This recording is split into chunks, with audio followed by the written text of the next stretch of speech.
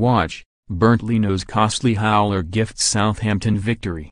Burnt Lino provides an early Christmas present for Charlie Austin and Southampton as Arsenal's unbeaten run comes to an end. With the game locked at 2-2 both teams were pushing for a winner.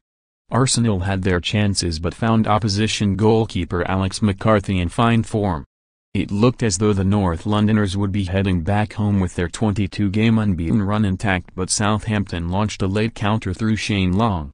Long burst away down the right-hand side and has crossed deceived Leno, who misjudged the flight, and allowed Austin to head into the empty net. Watch Leno's costly mistake above.